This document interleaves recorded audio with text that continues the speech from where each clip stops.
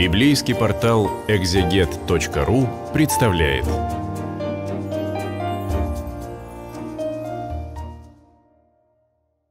Сегодня на библейском портале «Экзегет» мы продолжаем изучение книги Тавита. И сегодня будем читать 13 главу, в которой содержится песнь Тавита.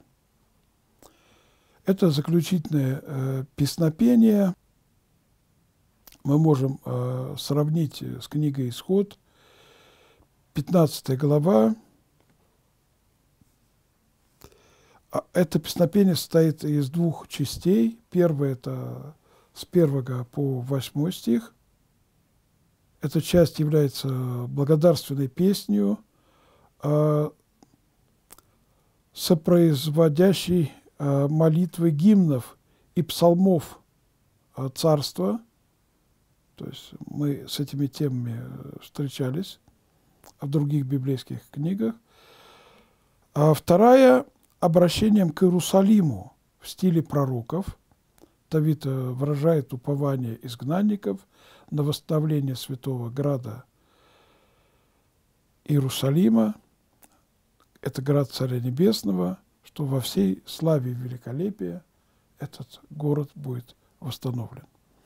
Хотя книга Тавит – это такая торжественно-радостная книга, в принципе, это такая брачная книга в Библии, как и «Песнь песней», тоже брачная книга в Библии. Но здесь э, как бы авторы этого повествования, они не забывают о том, что они на чужбине. А Иерусалимский храм э, разрушен, как и весь город. И мы читаем. В радости Тавид написал молитву в всех словах «Благословен Бог, вечно живущий, и благословенно царство Его». Он называет Бога э, вечно э, живущим, потому что Бог – это и есть жизнь в таком абсолютном понимании, ибо о Боге в Библии сказано, что мы им живем, движемся и существуем. Ибо Он наказует и милует – не сводит в ад и возводит, и нет никого, кто избежал бы от руки его. Действительно, Господь э, наказует нас, Он же милует нас, не сводит в ад и э, возводит. И никто не может избежать от руки Его. Сыны Израилевы, прославляйте Его пред язычниками, ибо Он рассеял нас между ними. Вот здесь ответ на вопрос, зачем Бог рассеивает своих верных.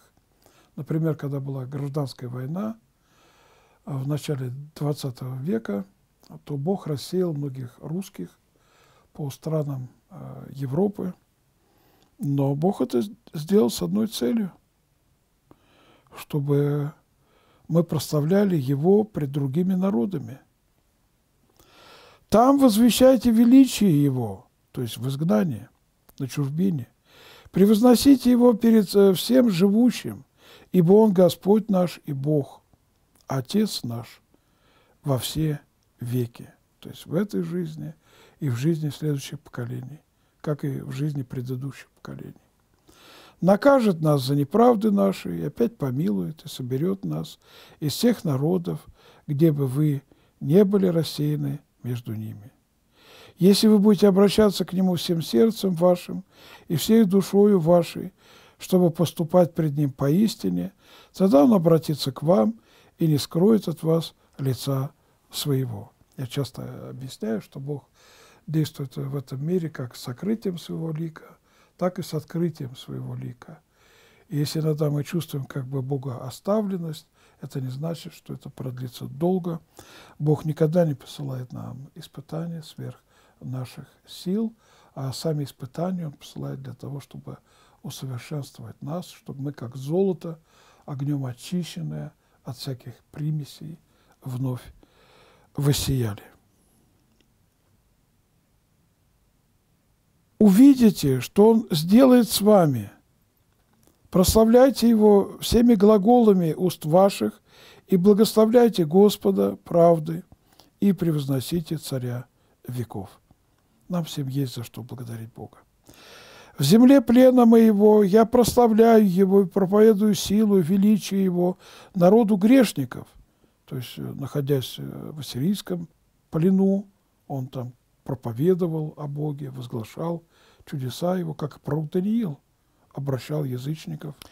В земле плена моего я прославлю его и проповедую силу величия его народу грешников, то есть язычников. Обратитесь, грешники, и делайте правду пред ним.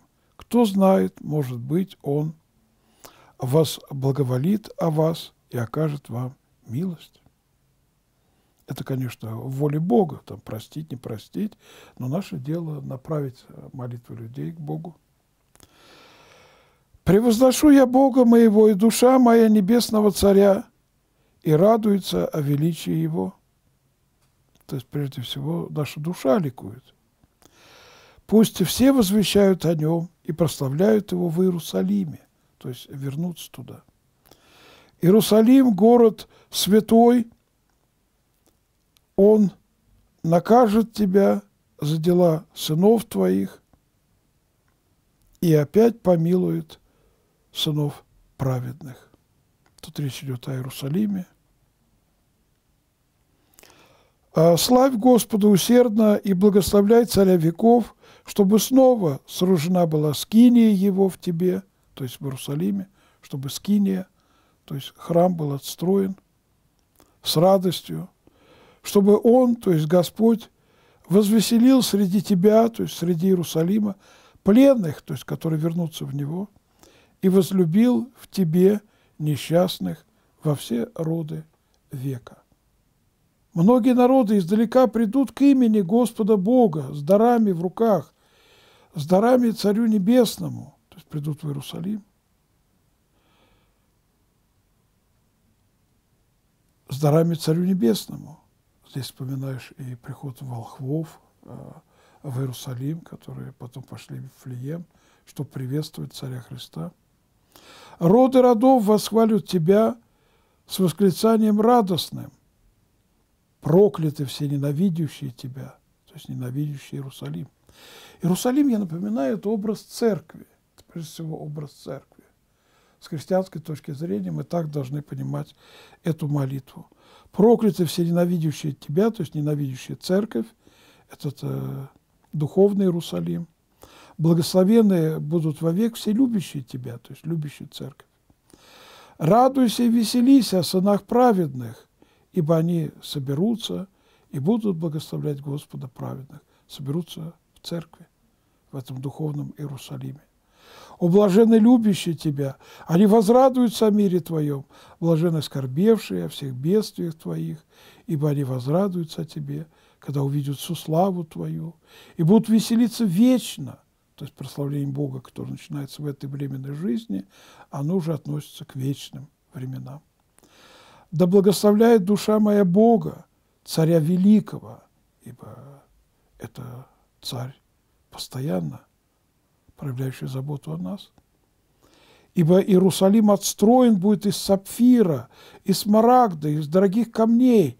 Здесь мы так и видим э, Новый Иерусалим в описании Анна Богослова в Апокалипсисе, то есть небесный Иерусалим. Стены твои, башни, укрепления из чистого золота и э, площади иерусалимские высланы будут э, берилом, анфраксом и камнем из афира на всех улицах его будет раздаваться «Аллилуйя!» и будут славословить, говоря Благословен Бог, который превознес Иерусалим, этот образ церкви. Благословен Бог, который превознес Иерусалим на все веки.